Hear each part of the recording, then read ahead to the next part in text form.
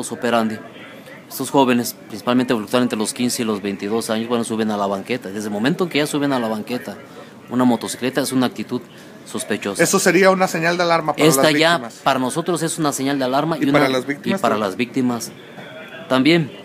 ¿Qué observamos? Van en sentido contrario, un ciudadano que van realizando, caminando común y corriente, realizando sus actividades, transitando libremente, y ellos ya ubicaron quién va a ser su, su víctima. ¿Qué observamos? Siguen por la banqueta. En este momento, ¿qué es lo que hacemos nosotros para prevenir el delito? Vía radio, al, al esquema operativo les informamos que hay dos jóvenes que van arriba de la banqueta. En este caso aquí estamos señalando la persona que va a ser sujeta de un atraco, de un delito.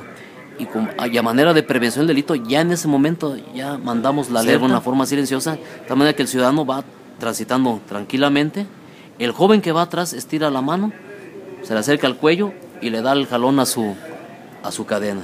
¿Qué observamos? Levanta la mano, le da el jalón al cuello, acelera su motocicleta. ¿De qué que reacciona el ciudadano? Entonces ya le ganó tres metros. Trata de correr el ciudadano, hace las señas para protegerse los ademanes. Ellos ya van adelante cinco metros.